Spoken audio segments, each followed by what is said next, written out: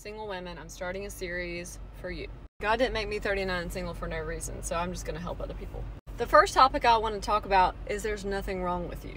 Society makes you believe that something is wrong with you if you're single, specifically women. Your family asks you when you get married, have you met anybody? Even friends, even close friends, it's always one of the first topics. And I don't know why it gets on my nerves that that is always a top priority topic. So we're always feeling this weight of like, still single. Like, and subconsciously it kind of makes you think like well is something wrong with me? Like everybody keeps asking and i'm still not married. No just no. Nothing is wrong with you. So don't even listen to those people. Like oh you must be too picky. You must not get out enough. Blah blah blah. Tell them to be quiet. You're gonna do you. Half these people out here are just letting anybody and everybody into their world. Like no. We have we have boundaries. We have expectations we have standards. When God created Adam, it was Adam that was missing something, so God created Eve.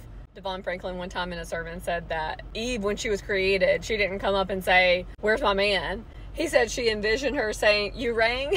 so just remember, like, ladies, God didn't create us first and be like, We were missing something. He created man first and said they were missing something. So today, I want you to just walk around and believe that you're God's best and have the confidence and just ignore those people that say something's wrong with you.